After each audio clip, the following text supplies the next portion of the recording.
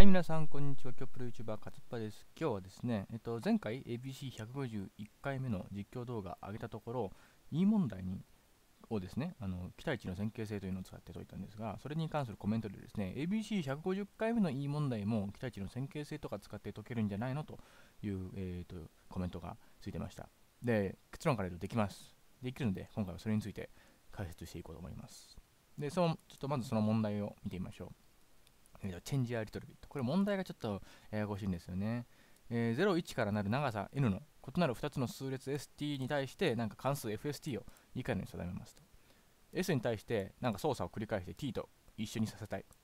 で、この時行う操作のコストの和として考えられる最小の値が fst であると。で操作って何やねんって話で、これですね。si つまり i を1個選んで、要は s, s 数列ですから、その i 番目をというの i を選んで、それをまあもともと0だったら1に変えるし、まあもともと1だったら0に変えるというふうに変更しますと。っていう操作です。で、この操作のコストは変更の前に sj イコール tj となる j の個数です。だからつまり、えーと、s と t 異なる数列ですから、えーと、この2つの間でこう値が異なる桁っていうのがいくつか、まあ、あるわけですよね。でそれの個数を、まあ、d として d×ci。でこの ci っていうのはこうあらかじめ与えられるやつ。です。で、今、たくさん変数出てきたり、概念が出てきたりしたんで、ややこしいんですけど、えっと、まず各桁について、そこを変えるための、まあ、基準コストみたいなのが与えられます。それが CI です。で、えっと、実際にその桁の数字を変えるときは、CI だけじゃなくて、それにかける D したものがかかります。で、この D というのは、変える直前の値が異なる桁の個数です。だから、例えば、図を書いてみると、はい、例えば、あの、例を出してみましょう。これ00000ってやつから何に変えましょうかね。01、011とかに変えようと思ったとします。S がこれで T がこれです。ってなると、で、えっとですね、まず基準コストが決まってますし、ここ変えるのは1円、ここ変えるのは2円みたいな、ここ4円、ここ3円、7円みたいなのが決まってるとします。で、えっと、まずどこを変えましょうか。ここを変えたいと思ったら、えっ、ー、と、まず基準コースト7かける今違うところ、今異なっている場所の個数です。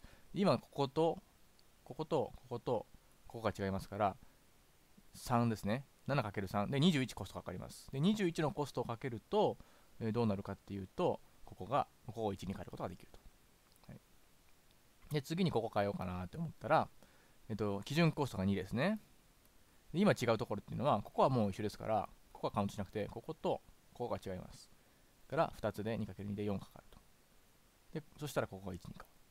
で、次ここ。ここ変えようかなと思ったら、えっと、もう違うとこここだけですから、3×1 で、まあ、3かかると。で、これで晴れて一緒になったので、ここまでのコストの相場は、コストの相場は、えっと、21と4と3で合わせて28ですから。だからこういう買い方をすると28です。だけど、もっといい順番でやると、えー、コストが安くなります。まあ、だけどこういう中で最小値が F です。で、その前に一回問題最後まで読んどくと、えっ、ー、と、01からなる長さ L の異なる2つの数列の組、ST はまあこんだけたくさんあるんですけど、これらすべてに対する FST の和を10の9乗プラス7で割った余りを計算してくださいというのが、えー、とこのいい問題でした。で、前回の ABC150 回目の E もそうだった、151回目の E もそうだったんですけど、なんか、全通りについての、なんか関数の相和を求めろっていう問題だったんですね。で、その時私が動画内でコメントしたのが、あの、こういうタイプの問題であったら期待値だと思って計算するといいよと。でこれら全てのに対する和っていうのは、それぞれが等確率で発生すると考えた時の、まあ、期待値かける通り数と一緒だからまずは期待値で考えて最後にこの通り数かけてあげればいいんだよというふうに言いました。だから確かにこの問題もそのタイプの形してますんでそれを解けるんじゃないかなって睨むのはとてもいい筋だと思います。で実際にそういう数字で解けます。ので解いていきましょう。解いていきましょうなんですけどさすがに E 問題だけだとちょっと骨がありますね。というのはこの FST がそもそもどう計算していくかちょっとひじめじゃないですか。まずはそれから話しましょう。FST 今さっき実演したんですけどえっ、とまあ皆さんなんとなく直感的にもそもそももともと一緒のやつを変える必要はないなっていう気はしますよね。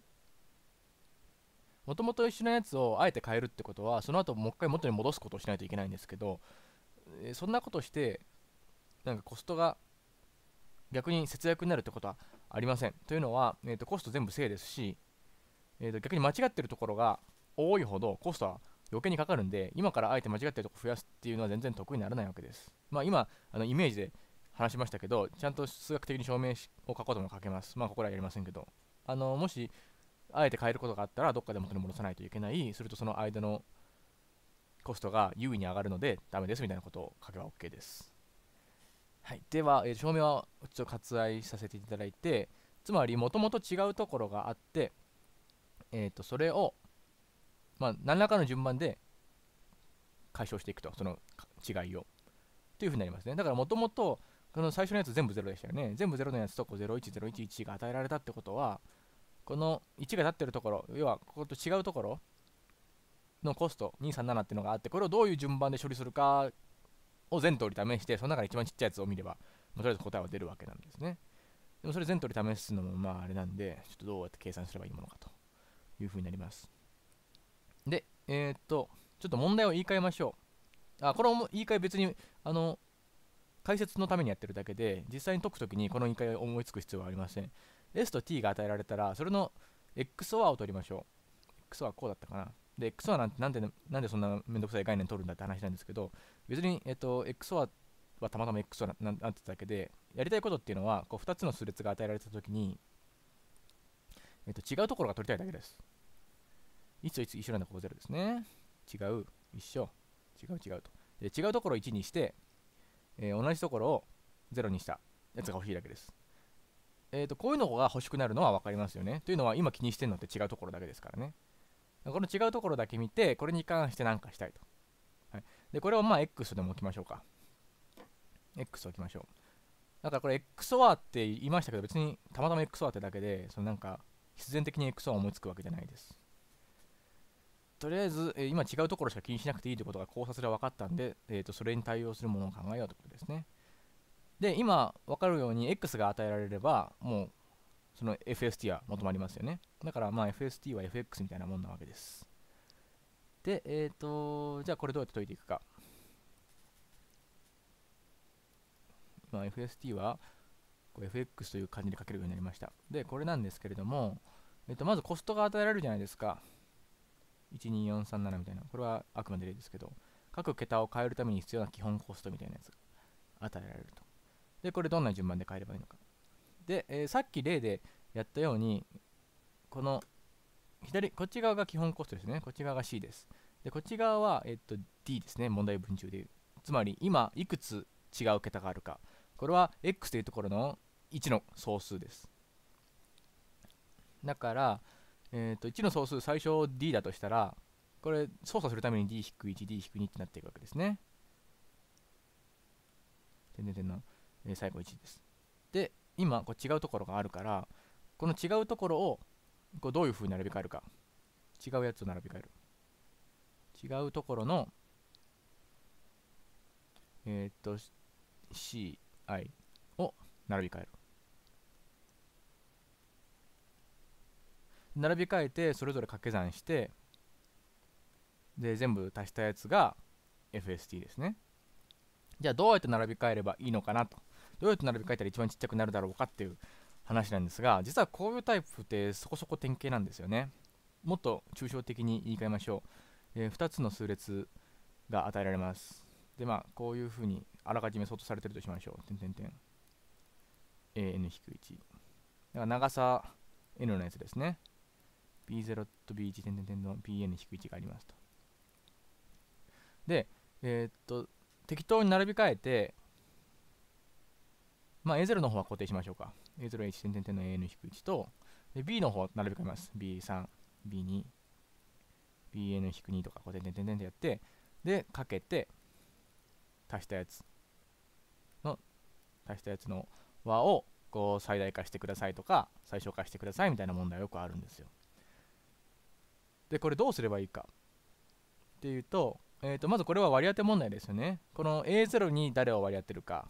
えー、この A3 とかに誰を割り当てるかみたいなのを決めてあげれば OK なんですが、えー、っとこれ実は結論から言うと B を相当させた方がいいです標準もしくは高順にするとマックスやミンが得られますでこれなぜかっていうと、まあ、例えば AK と AK プラス1に対応しているのが B なんちゃらと B ダッシュにしましょう。B と B ダッシュと書いておきましょう。でここがですね例えば今こうなってるとしましょう。でこれ入れ替えるとどうなるか。これ入れ替えるとこの相和ってやつはえっとここ以外の部分は変わらないですから関係ないですね。だからここの相和の差っていうのはここあのここだけの差この2つの差を見ればいいんです。で変える入れ替える前というのが AKB あ AKB だ、うん、AKB と AKB 足す AK 足す 1B ダッシュですよね。で、えー、入れ替えた後っていうのが AKB ダッシュと AK プラス 1B ダッシュです。えーとだからどれぐらい減ったかを見たかったらこれ引き算すればいいですね。うんちょっと待ってよ。なんかあここここ B つかないですね。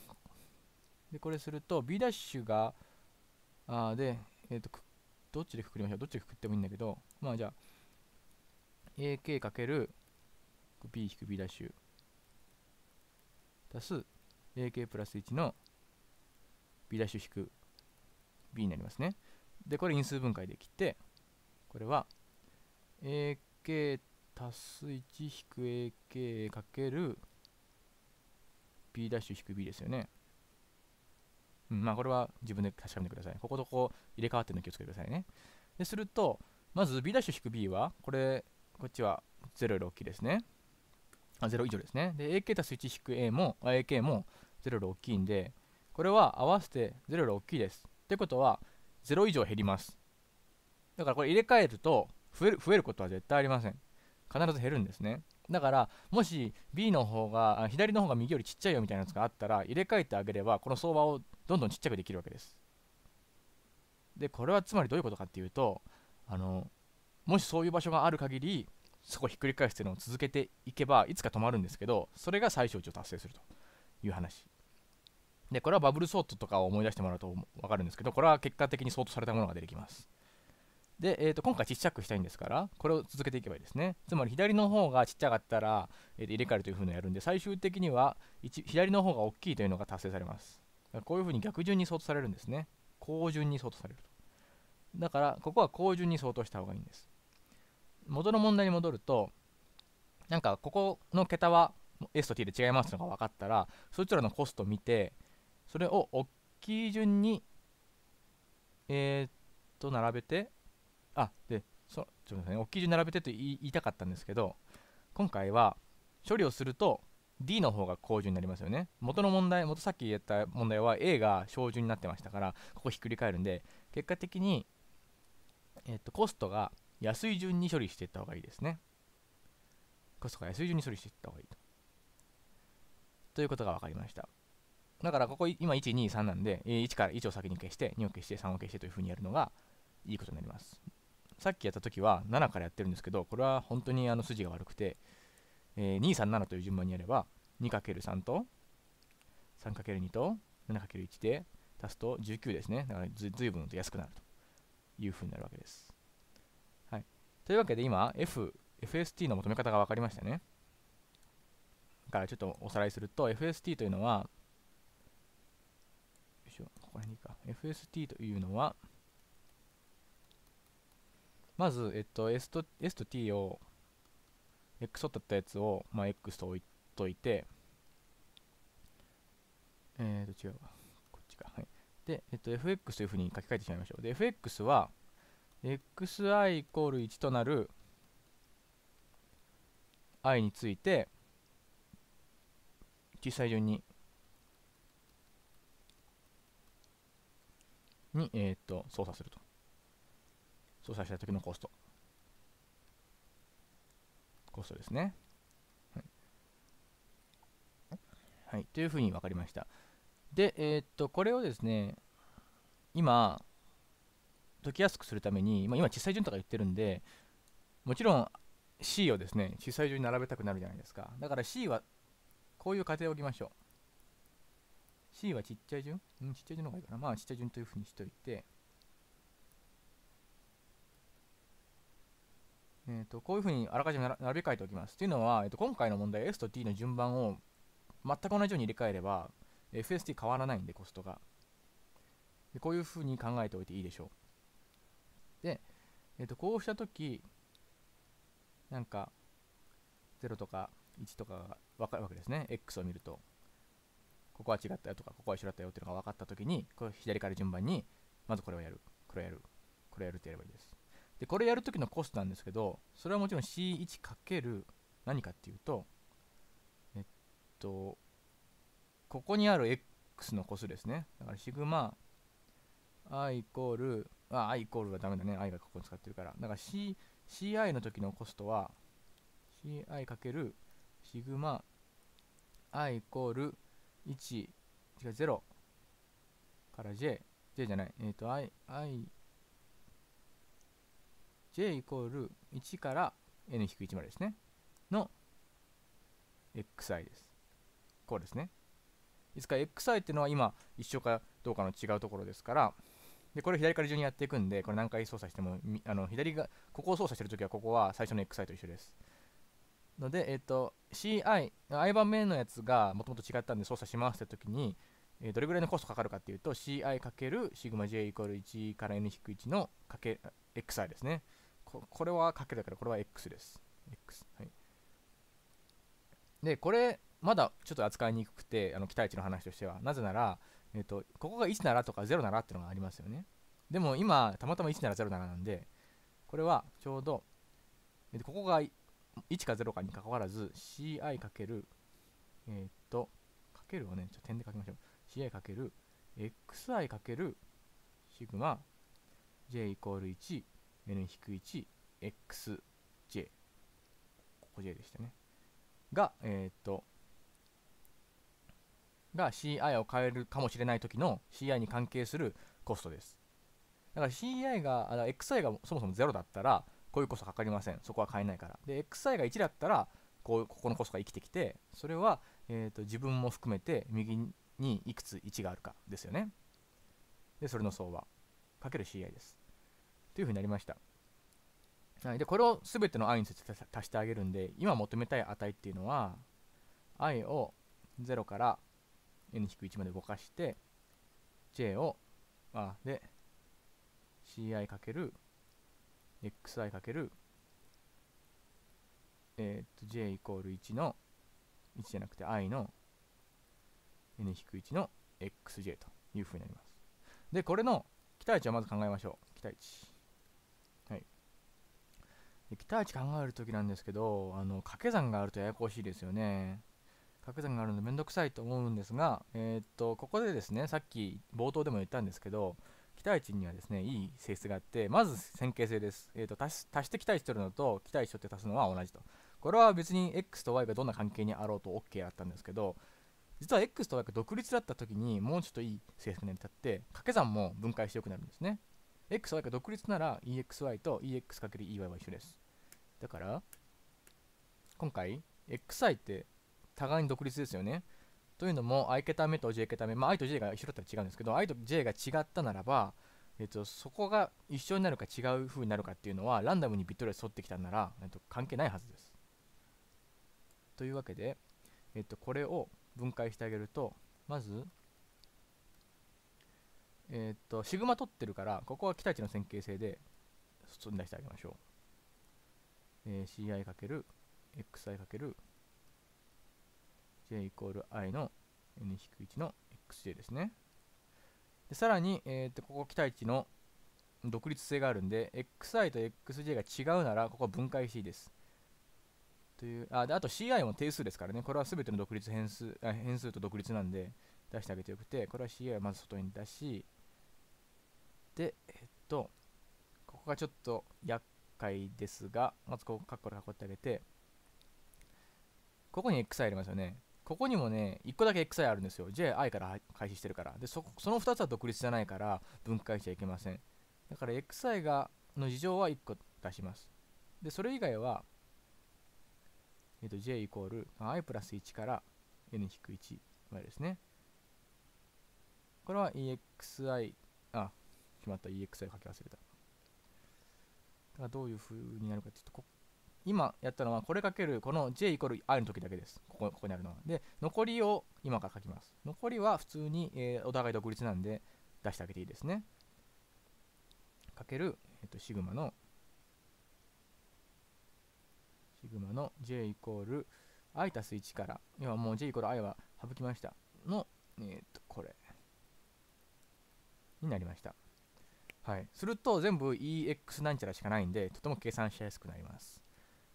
さて、で、問題はこの EXI が何やねんって話なんですけど、これは、えー、っと、XI って0か1ですよね。等確率で0か1ですよね。i 桁目が、えー、っと同じになる確率と i 桁目が違くなる確率って両方同じだから、これは2分の1の確率で0を取ります。こう2分の1、2分の1。だからかけて足してあげると、これ2分の1なんですね。EXI は2分の1です。で、これ全部そうです。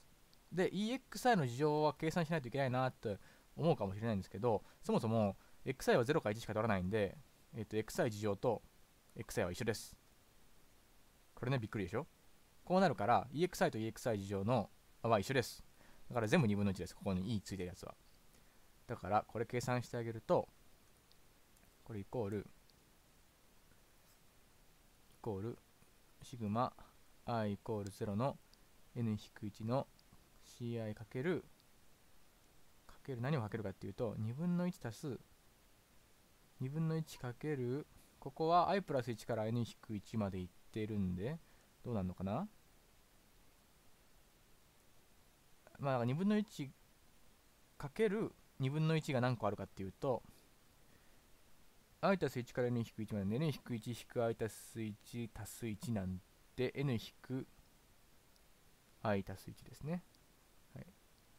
これで OK。だから、これを計算してあげれば OK。これはフォア分回せば一瞬ですからね。まずそうとして、これを計算するというふうにしていきましょう。えっ、ー、と、入力は N と C がこんな感じです。じゃあやっていきましょう。N をもらいます。で、え C ももらいます。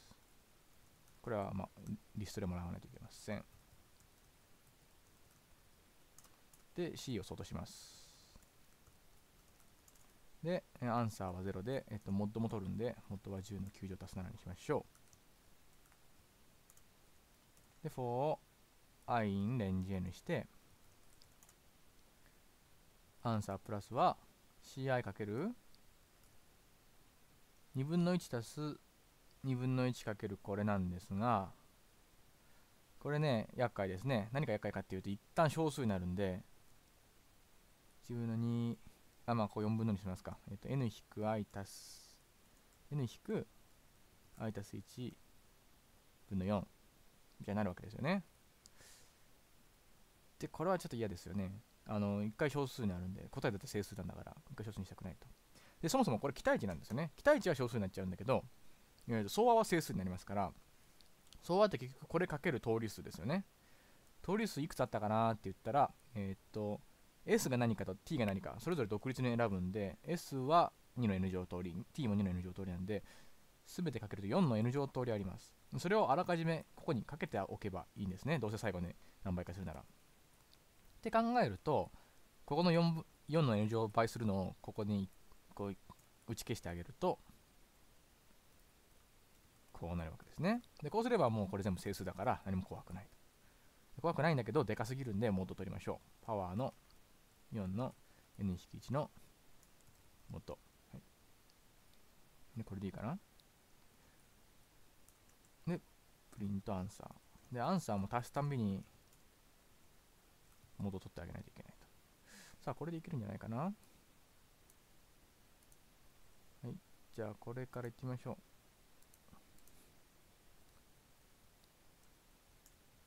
う。おソートがない。